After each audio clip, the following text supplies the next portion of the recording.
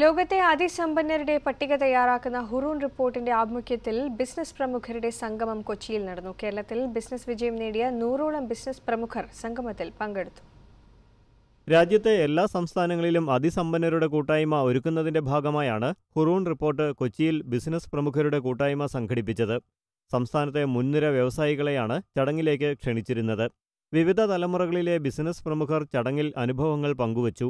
I brought only one lakh rupee from my family, from my native place. Rest of the money I collected from public. So I owe to public.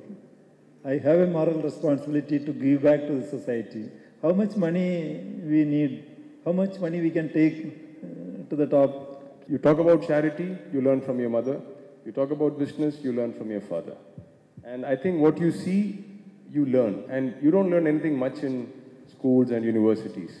Titan of year പുരസ്കാരം Kochouseph ചിറ്റിലപ്പള്ളിക്കും unicorn പുരസ്കാരം doctor ഷംസീറിനും സമ്മാനിച്ചു.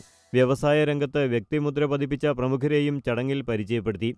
വൻകിട വ്യവസായികളുള്ള സംസ്ഥാനങ്ങളിലെല്ലാം ഇത്തരത്തിൽ സംഗമം നടത്തുമെന്ന് Hurun report India അധികൃതർ പറഞ്ഞു. Asianet news Kochi.